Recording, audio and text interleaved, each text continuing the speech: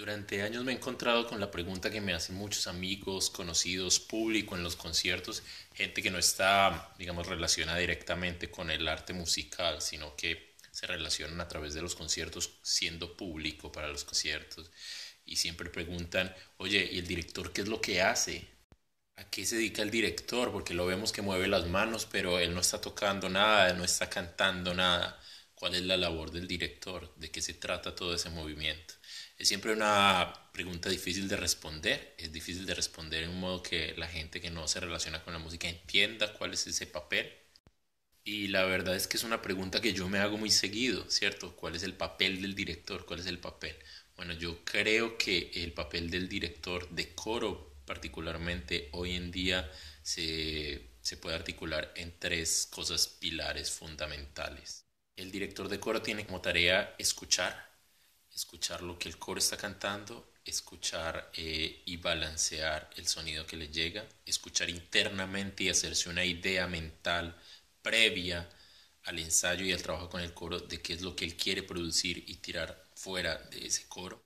El director de coro tiene que concertar y es llegar con esas ideas preconcebidas que él tiene y luego concertarlas con sus cantantes, hacer un concierto, ponerse de acuerdo en esas ideas. Y para ponerse de acuerdo, como no es una dictadura, él tiene que saber argumentar muy bien sus ideas para que vean, sean aceptadas por el coro.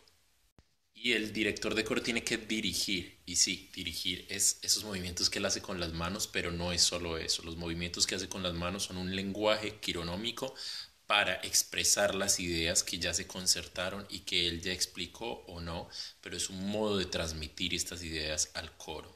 Pero dirigir es no solo durante el concierto y los ensayos, un director de coro moderno, contemporáneo, tiene que dirigir también la organización de su coro, es prácticamente un manager detrás de todas las labores que un coro como organización tiene que realizar. Y, y bueno, esos son los tres aspectos. Entonces ya sabes, la próxima vez que vayas a un concierto de un coro y vas al director moviendo sus manos, ya sabes que su labor empezó muchísimos meses antes de llegar a ese momento y continuará por muchísimos años después de ese momento del concierto. Esa es la labor del director. Un abrazo. Chao, chao.